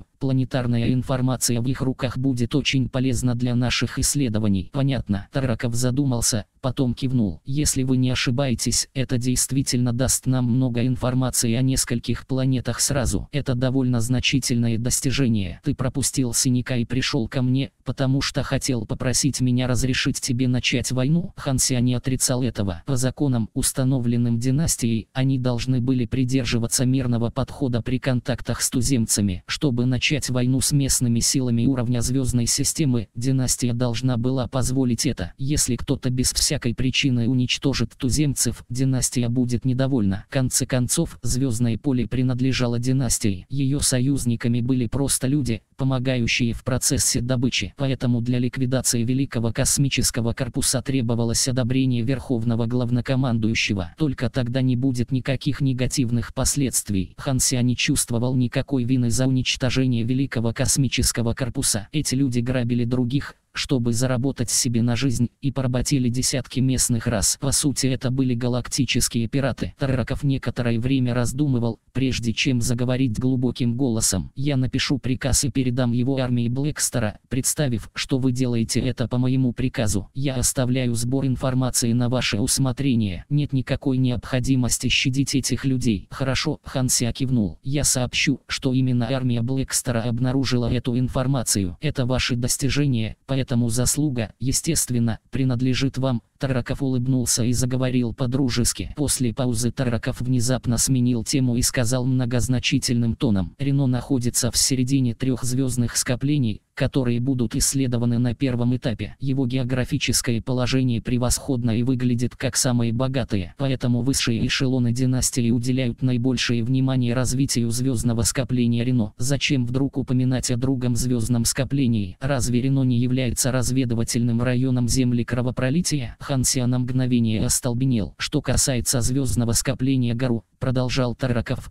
то из-за того, что оно имеет довольно большое количество пустынных поясов Вселенной, высшие эшелоны династии возлагают на него самые низкие надежды. Именно поэтому все меньше людей предпочитают исследовать звездное скопление гору. Однако, если исследование гору пойдет очень хорошо, это будет приятным сюрпризом для династии. Хансия понял, что Тараков пытался донести до него. Тараков сливал крошечную часть внутренней информации династии и давал ему напоминания. Династия уделяла Рено самой пристальное внимание и возлагала на него самые большие надежды, а это означало, что земля кровопролития должна была добиться большего, чтобы оправдать их ожидания. Однако это было бы приятным сюрпризом, если бы его исследование гору не было слишком ужасным, так что заработать заслуги для него было бы сравнительно легче. Тут были и плюсы, и минусы. Видя, что Ханся задумался, Тараков улыбнулся и отошел от этой темы. Помимо желания построить хорошие отношения с Ханся, он напомнил Ханся также поощрять армию Блэкстера. Это была одна из его обязанностей как главного командира. Немного поболтав, они закончили разговор. На этот раз на интерфейсе Ханся появилось уведомление. Миссия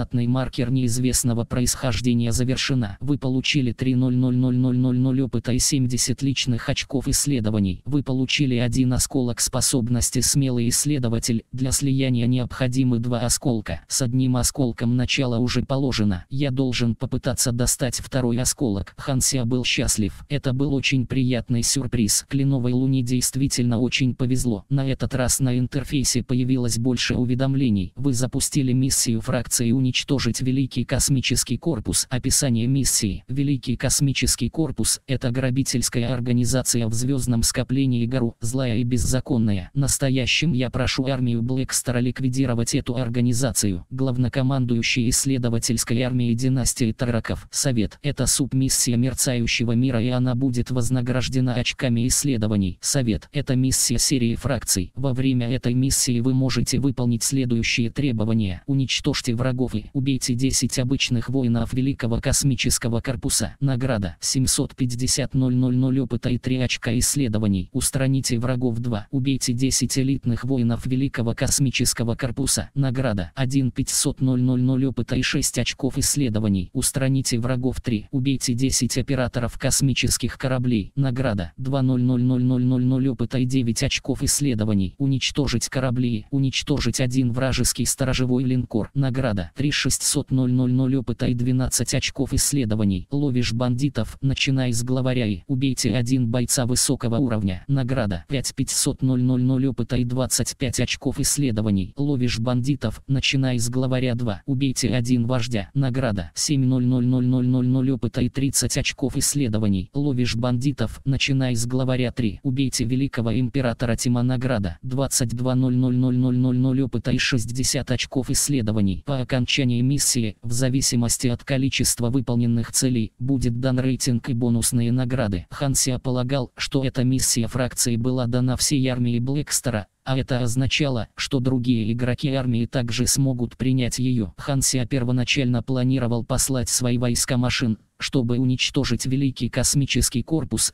но передумал. Поскольку игроки были в состоянии принять эту миссию, он оставит ее игрокам. Потратить немного больше времени не было проблемой. Этот Великий космический корпус не был особенно силен, поэтому он очень подходил для того, чтобы с ним разобрались игроки. Средняя сила игроков постепенно росла, поэтому он планировал позволить игрокам уничтожить Великий космический корпус. Кроме обеспечения космическими кораблями, он не собирался позволять ни одному НПЦ принимать участие в этой операции. Это будет первая военная операция только с игроками. Таким образом, игроки получат лучший опыт в изучении мерцающего мира. В конце концов, по сравнению с чисто разведкой, большинство игроков предпочитали сражаться. Люди Великого космического корпуса были ходячим опытом, поэтому Хансия рассматривал возможность позволить игрокам устранить их, как поливку своего лука пария. Это была еще ранняя стадия версии 3.0, так что игроков максимального уровня еще не было. Кроме того, после войны игрокам придется пополнять свои боеприпасы и ремонтировать свое снаряжение, что будет стоить денег. Хансия никогда не игнорировал армейский бизнес с боеприпасами, и он собирался сделать на этой войне состояние. Мне придется заставить врагов собраться и атаковать первыми, чтобы это заняло меньше времени, Хансия связался с Филиппом и сказал несколько слов псионическому прайму. Центральный район звездного скопления Гару, штаб Великого космического корпуса. Ви Великий Император, мы потеряли контакт с командой вождя Кикиги, дрогнувшим голосом произнес наместник, поспешно подойдя к трону Атима. В глазах Атима мелькнул холодный огонек. «Что случилось?» – тихо спросил он. Они планировали вторгнуться в расположение маркера, но встретили вражескую команду на полпути и были уничтожены, осторожно сказал заместитель. Эти враги называют себя армией Блэкстера, и они послали сообщение. Армия Блэкстера, нахмурился Атима. Что они сказали? Помощник шерифа, дрожа, прокрутил это сообщение на экране. На экране появился псионический прайм, а Кикига дрожал на полу у его ног. «Я командир механической армии армии Блэкстера, псионический прайм. Слушайте внимательно, люди Великого космического корпуса. Армия Блэкстера захватит всю вашу территорию, убьет всех ваших воинов и заберет у вас все. Скажите своему вождю Атима, что наш командующий армией будет пить вино из его черепа. В тот момент, когда фраза закончилась, рука псионического прайма превратилась в сверкающий псионической энергией клинок и пронзила шею Кикиги. Пуч, хлынула кровь, голова Кикиги покатилась по полу, а его обезглавленное тело рухнуло на пол все еще дрожа. Псионический прайм бесстрастным тоном произнес «Приготовьтесь к войне». Затем экран почернел, и сообщение подошло к концу. Сначала Атима смотрел на эту запись с безразличным лицом,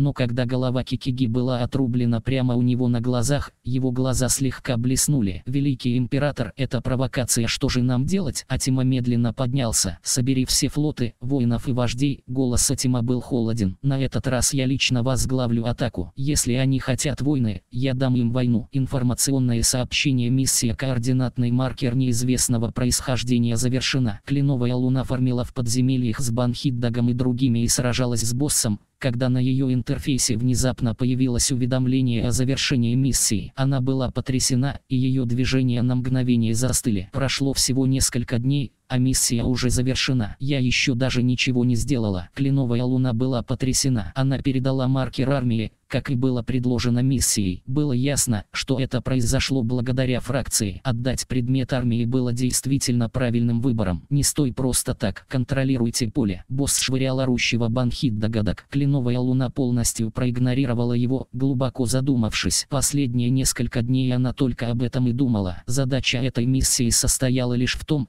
чтобы установить контакт с неизвестной силой, а это означало, что в ней определенно будет что-то еще. Она тут же открыла список миссий фракции. Как она и ожидала, действительно появилось больше миссий и даже больших побочных миссий, распределенных династией. Великий космический корпус, такое дурацкое название, это грабительская организация. Задача миссии – ликвидировать эту организацию. Похоже, это будет групповое задание. Определенно будет участвовать много людей. Кленовая луна задумалась. «Помоги мне». Босс прижал Банхид Хиддага к земле и бил его по лицу снова и снова. Бан Хиддаг мог выкрикивать только один слог за раз в промежутке между ударами. Его зов о помощи имел постоянный ритм. В конце концов, когда его последние остатки здоровья исчезли, Банхиддак превратился в белый свет и умер. Кленовая луна наконец-то собралась с мыслями и посмотрела вверх. Она выбросила тонну сжатых шаров, и поле заполнили машины. Большое количество машин утопило этого босса. Вскоре после этого босс, у которого была половина здоровья, был побежден одной лишь кленовой луной. Поиграв в течение трех версий, она поняла, что была довольно талантлива в этом аспекте, и ее навыки PvP становились все сильнее и сильнее сильнее. Кроме того, эта версия была мощным периодом для класса механиков, поэтому фарм подземелий был намного проще. Механики выше 100 уровня приветствовались большинством команд подземелий. Группа вышла из подземелья и вернулась на военный корабль. «Почему ты отвлеклась?» Банхиддаг жаловался. «Мне пришлось воспользоваться одним воскрешением. Посмотри на задание фракции». Банхиддог открыл интерфейс фракции и увидел миссию уничтожить Великий космический корпус. Удивленный, он открыл форумы и понял, что игроки армии уже вне себя от радости. Хотя исследование основной сюжетной линии миссии было наполнено неопределенностями и было довольно интересным, игроки проводили большую часть своего времени на космических кораблях и почти не имели возможности сражаться. Большинство игроков жаждали драки и могли использовать для этого только подземелья. Теперь,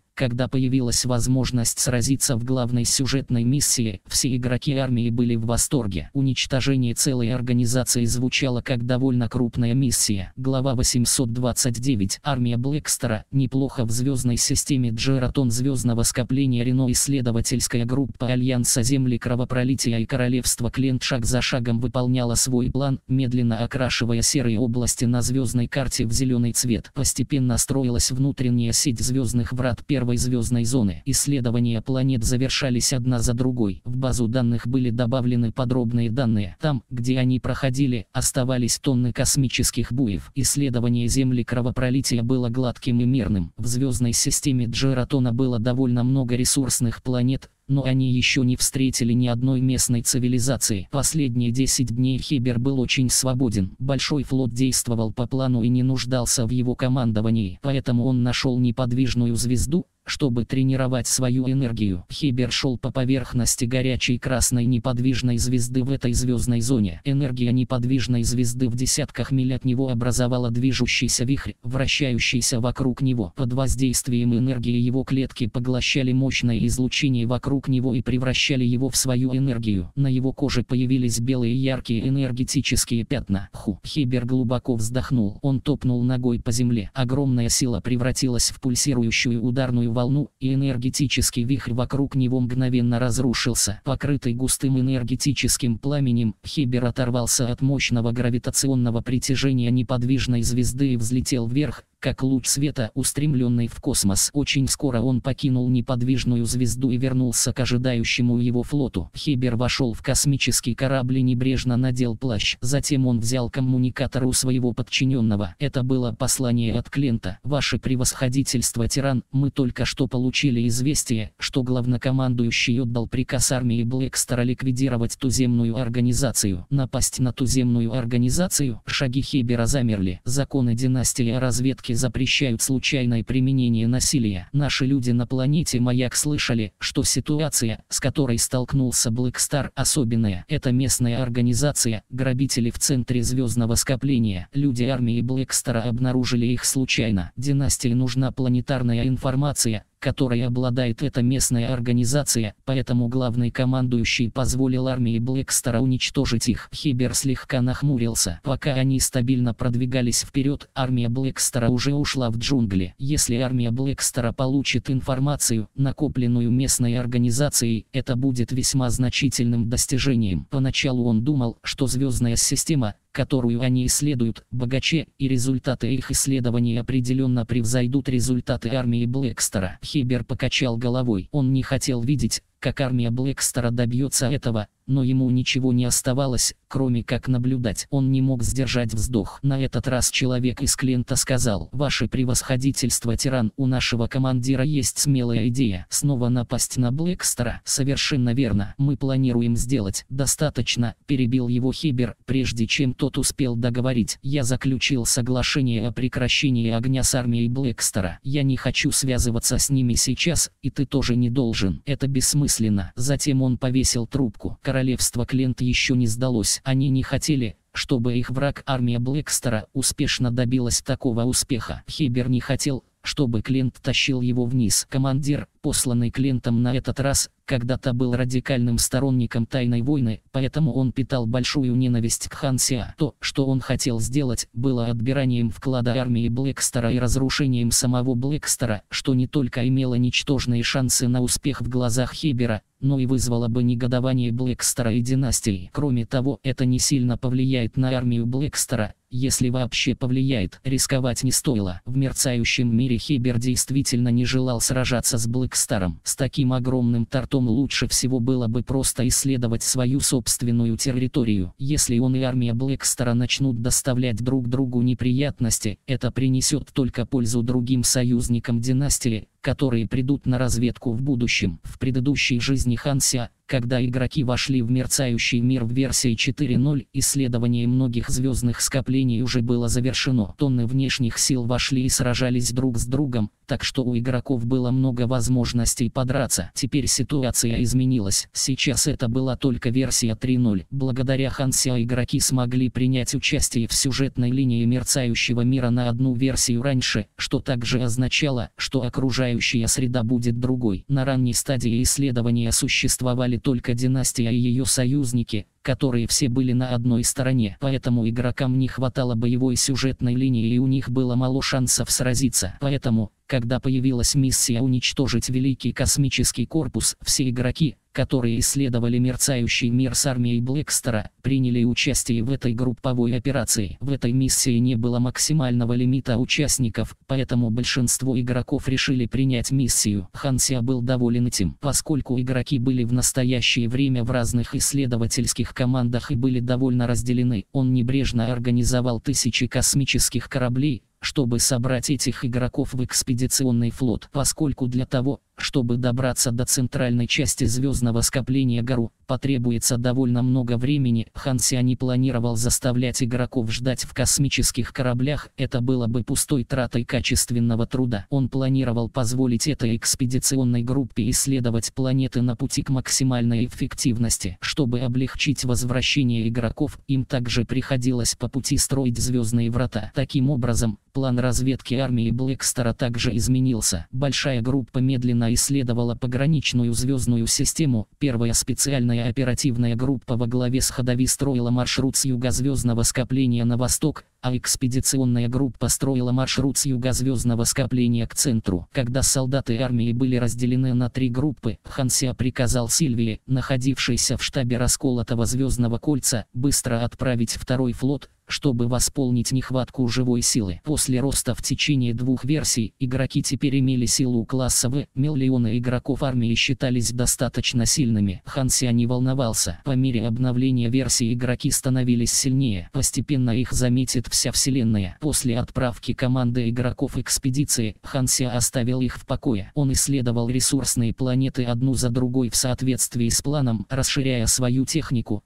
пока у него было время. Поскольку еще две звездные зоны были полностью исследованы, один месяц прошел спокойно. В этот день Хансия наконец получил сообщение Филиппа о том, что экспедиционная команда игрока наконец-то встретилась с разведывательными войсками Великого космического корпуса. Команда, которая встретила разведывательные войска, была команда игроков, которая развертывала космические бои. Это был всего лишь небольшой разведывательный корабль с примерно тремя сотнями игроков, в то время как у противника было три линкора. Сражение вспыхнуло мгновенно. Как только эта разведывательная группа обнаружила этих игроков, они без единого слова бросились вперед, планируя захватить врагов и допросить их для получения информации об армии Блэкстера. Выстрелы попали на щит этого мини-разведывательного корабля, вызвав системную оценку, в то время как мерцающий щит не пострадал. Тревога. Космический корабль подвергается нападению. Оставшаяся энергия щита 97,1%. 99,7% заряд завершен. Оценка уровня угрозы. Оценка завершена. Огневая мощь противника не способна пробить щит. Уровень угрозы крайне низок. Сотни игроков внутри космического корабля обменялись взглядами. Космические корабли армии Блэкстера использовали полноценную технологию звездной системы, а некоторые даже имели стандарты звездного скопления, такие как энергетическое ядро, оружие и щит. В сравнении с этим космические корабли Великого космического корпуса были слишком отсталыми. Без огромной разницы в количестве они не представляли бы никакой угрозы для космических кораблей армии Блэкстера. Ближний бой – именно то, чего хотели игроки. Когда три вражеских разведывательных корабля приблизились и собирались соединиться с их кораблями, более десяти штурмовых кабин выстрелили из борта этого мини-разведывательного корабля, вгрызаясь в три вражеских космических корабля. Игроки, находившиеся в штурмовой кабине, выскочили наружу и устроили на вражеских кораблях бойню. Эти игроки почти все были выше 100 уровня, в то время как люди на вражеских кораблях были обычными людьми. Вскоре после этого сотни игроков уничтожили врагов внутри этих кораблей и захватили три космических корабля. С другой стороны, Тима тоже получил эту новость, однако он не получил видеоинформации, которую должна была передать разведгруппа. Сила армии Блэкстера все еще оставалась ему неизвестна. Перед тем, как потерять контакт, разведгруппа передала назад тот факт, что они встретили врагов, и связь была прервана сразу после этого. Мы не знаем,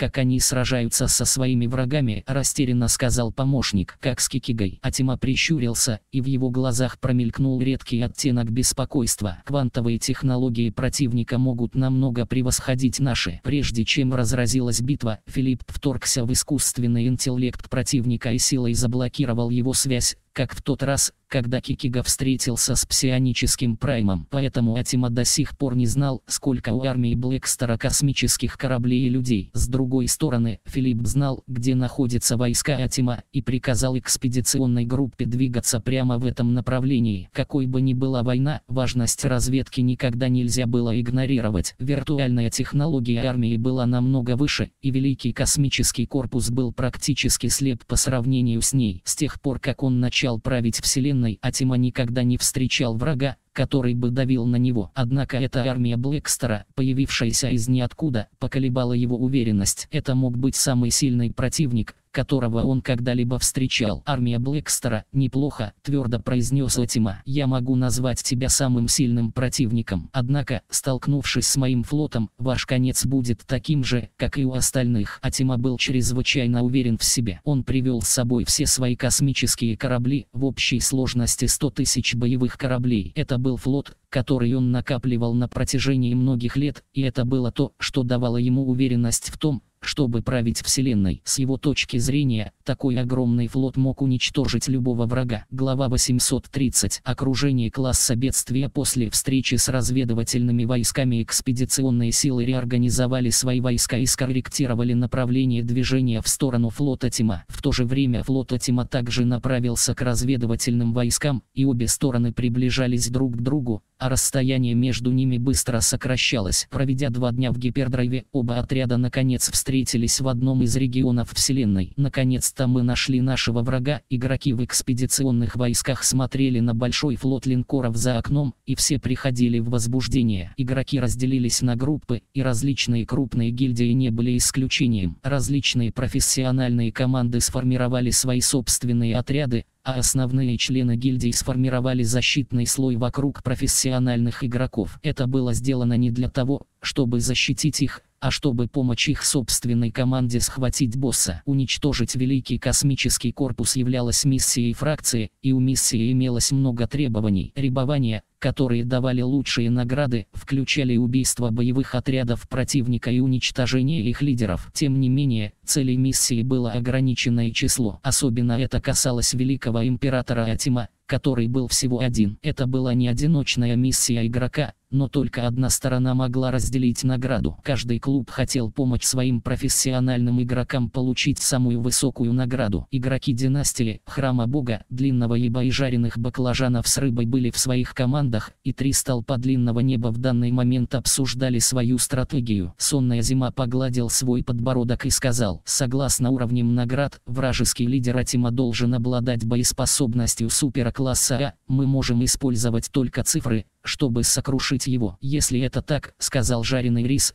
то группа, которая сделает первый шаг, будет в наибольшей опасности. Если мы хотим вырвать добычу, то нам лучше молча наносить урон и позволить другим привлечь агробосса. Награду получит только та сторона, которая нанесет наибольший урон. Если нас в конце концов убьет босс, то потребуется слишком много времени, чтобы вернуться после пробуждения. Мы можем наносить урон только в том случае, если мы еще живы. Хаотянь кивнул. Согласен. На другом космическом корабле Бешеный Меч тоже собрал группу со своей командой и даже привел с собой Кленовая Луна. У них были довольно хорошие отношения. Бешеный Меч смотрел за окно на ряды линкоров, выстроившихся в красивую линию. Было очевидно, что все гильдии собираются вместе, и между ними и обычными игроками существовала разительная разница. Увидев это, Бешеный Меч покачал головой и сказал, с таким количеством гильдий, пытающихся схватить босса, я думаю, что у нас нет большой надежды на успех. Пока мы не умрем, сказал вице-капитан Ривервейла, злой меч, мы не можем проиграть в плане урона. Такой босс не будет просто стоять и ждать своей смерти. Сторона, которая нанесет наибольший урон,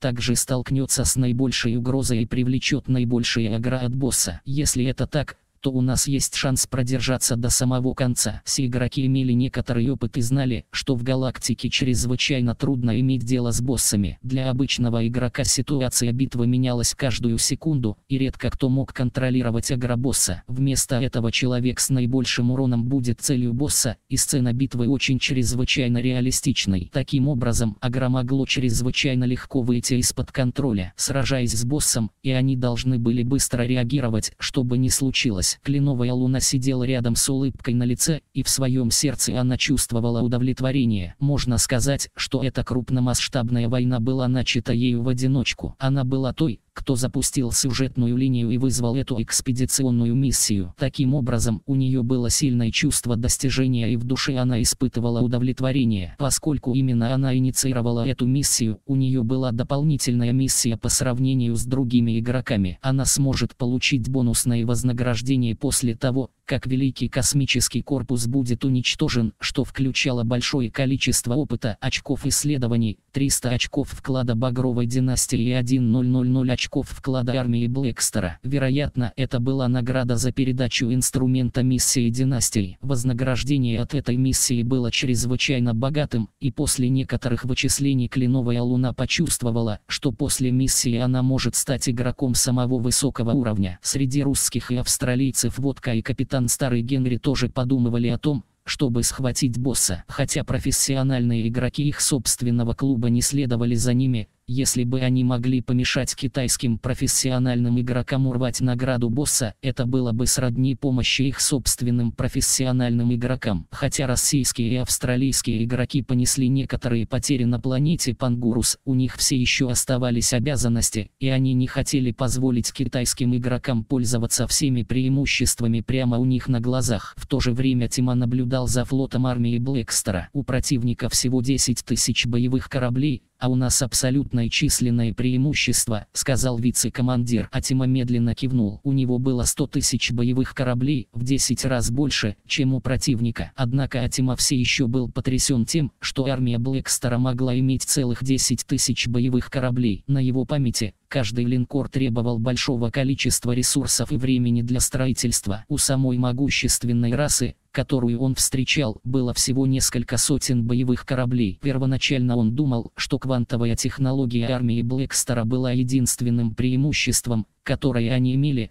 но никогда не ожидал, что флот армии Блэкстера также не будет слабым. Неудивительно, что они перекрыли информацию. Они не хотели, чтобы я узнал, что у них такой большой флот, и хотели застать меня врасплох. А Тима ощутил затяжной страх. Чтобы собрать полные 10 тысяч боевых кораблей, противник должен был послать все свои силы. К счастью, он также вывел весь свой флот. Если бы он, как обычно, послал несколько дивизий, то наверняка попал бы в беду. Принять меры лично для него оказалось самым правильным выбором. Глаза Атима загорелись, и он медленно произнес «Я хочу поговорить с их лидером». В его глазах это была тотальная война между обеими сторонами. Командующий армией Блэкстера был чрезвычайно загадочной фигурой и никогда не показывался. Атима хотел посмотреть, что это за фигура, предводитель армии Блэкстера. На самом деле под его командованием находилось 10 тысяч боевых кораблей, и Атима считал, что такой человек человек имеет право говорить с ним. Через мгновение вице-командир пробормотал, запинаясь. Другая сторона отклонила нашу просьбу. Они КК сказали, что они сказали. Глаза Атима сузились. Они сказали, что вы не имеете права разговаривать с их командующим армией. Атима расхохотался и ничуть не рассердился. У меня нет на это прав. У кого может быть больше прав, чем у меня? Плевать, так как они скоро умрут, нет необходимости быть такими расчетливыми. Атима покачал головой и потерял всякий интерес к собеседнику собеседнику. Затем он медленно произнес «Атакуйте, уничтожьте их всех». Когда был отдан приказ, 100 тысяч линкоров открыли огонь в унисон. Атима думал, что он станет свидетелем сцены, когда враг будет жестоко искалечен огневой мощью его флота. Однако развернувшаяся картина по-настоящему потрясла его. Когда пламя пушечного огня отступило, ни один из десяти тысяч вражеских линкоров не был уничтожен. Хотя враг был меньшей численностью, вместо того, чтобы оказаться уничтоженными, они окружали его флот. В следующее мгновение 10 тысяч вражеских линкоров ускорили ход, и поскольку их скорость была намного выше, чем у линкоров его великого космического корпуса,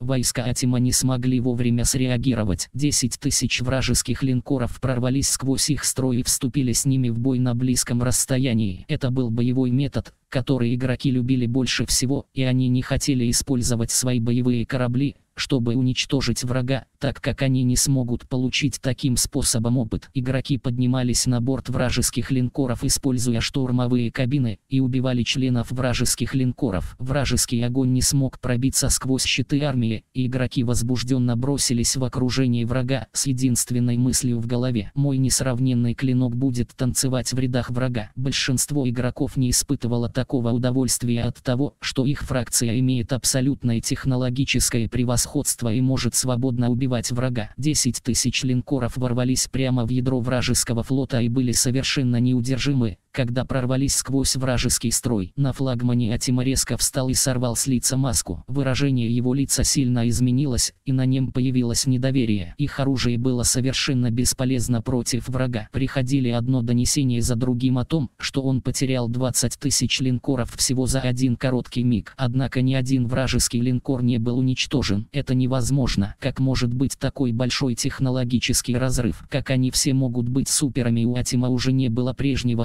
хладнокровия и уверенности, когда он понял, что ударился о металлическую стену. Враг был цивилизацией, которая была даже более развитой, чем его и могла легко уничтожить их. Он слишком долго беспрепятственно бродил по этой части Вселенной и слишком долго не встречал противника, способного представлять для него угрозу. Он уже забыл, что значит чувствовать страх и уважение. Однако сцена уничтожения его линкоров одного за другим снова вызвала чувство страха в его сердце, когда он начал неудержимо дрожать.